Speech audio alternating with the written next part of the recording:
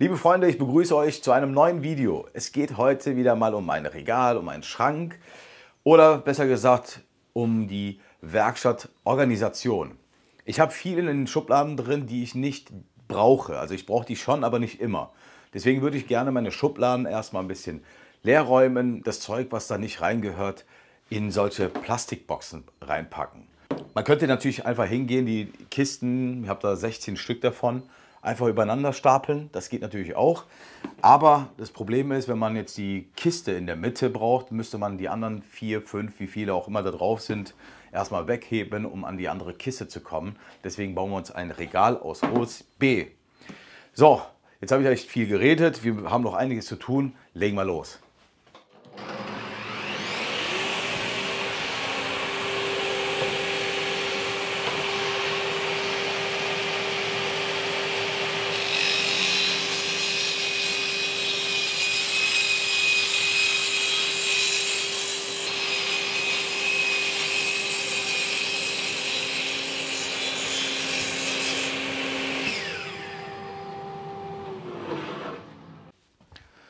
So, ich habe jetzt die Seitenteile zusammengelegt, bündig. Und dann werde ich die natürlich festklemmen und in einem Durchgang durchfräsen. So dass ich dann wirklich immer auf einer Flucht bin. Wenn ich die dann nebeneinander, also gegenüberliegend hinstelle, montiere, bin ich immer auf einer Flucht. Ich habe jetzt hier den 10 mm Fräser drin und dann schauen wir mal, ob das auch wirklich klappt. Ich mache die Bretter jetzt mal rundum fest damit die nicht mehr verrutschen können. Und dann legen wir los.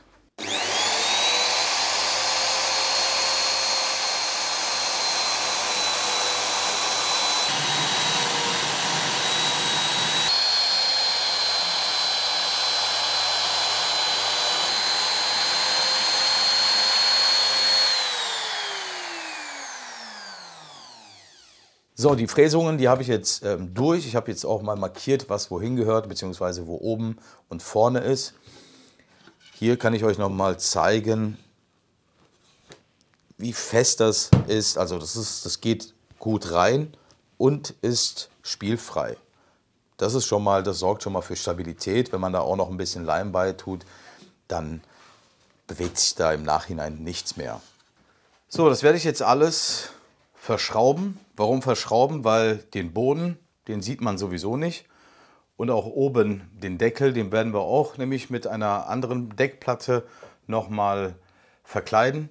Deshalb werde ich das jetzt alles verschrauben. Ich kann euch hier diesen Senkbohrer empfehlen mit dem Tiefenstopp. Ich hatte einen anderen gehabt mit einem Kunststoffteil drauf. Der hat mir ständig Abdrücke hinterlassen, weil der sich nämlich nicht richtig mitgedreht hat. Ich verlinke euch den mal, falls es euch interessiert.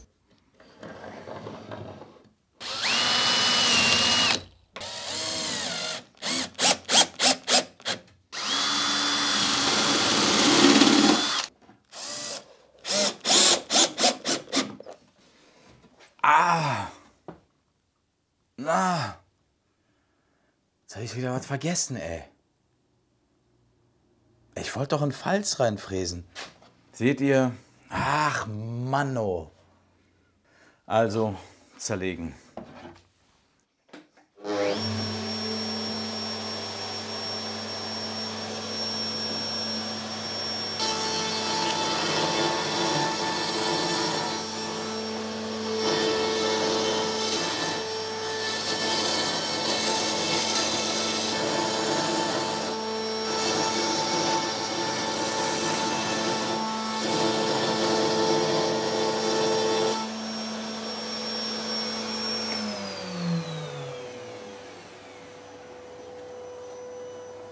Für die mittlere Platte, die jetzt gleich auch noch eingesetzt wird, da zeichne ich mir einfach die Mitte an. Einmal hier und einmal am Boden oder ich ziehe hier mal am besten die Linie komplett durch.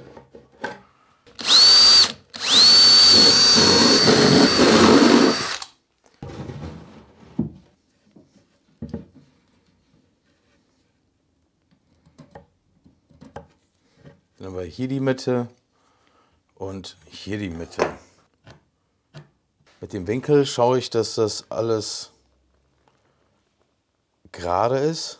Markierung mit der anderen Markierung anpeilen und dann festschrauben.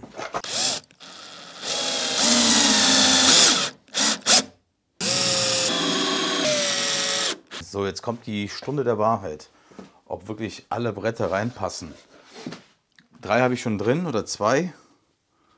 Jetzt werde ich einfach mal schauen. Es sind wirklich teilweise sehr eng, also passgenau.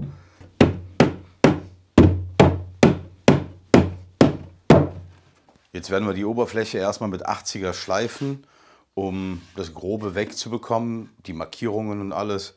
Und später machen wir dann noch einen feineren Schliff.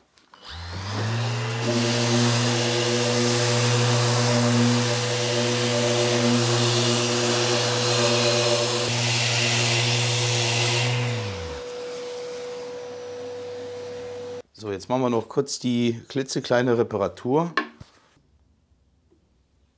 Spritzt da jetzt einfach mal ein bisschen was drauf. Da habe ich mir so einen dünnen Streifen OSB zugeschnitten. Dann drücken wir das da schön rein. Gucken, dass es auch wirklich bündig ist. So, dann lassen wir das erstmal so trocknen.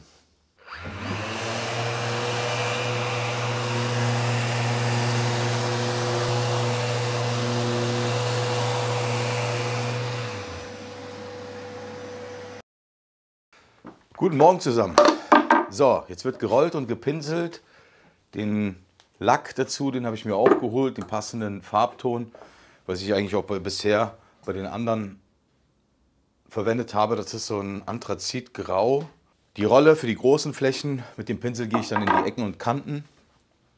Und später, ich habe jetzt äh, absichtlich die Rückwand noch nicht montiert, damit ich auch von hinten überall dran komme. Gut, dann trinke ich gerade noch meinen Kaffee aus und dann lege ich los. Hier ist jetzt die Temperatur, liegt jetzt gerade bei 10 Grad, also ist noch nicht so nicht so warm.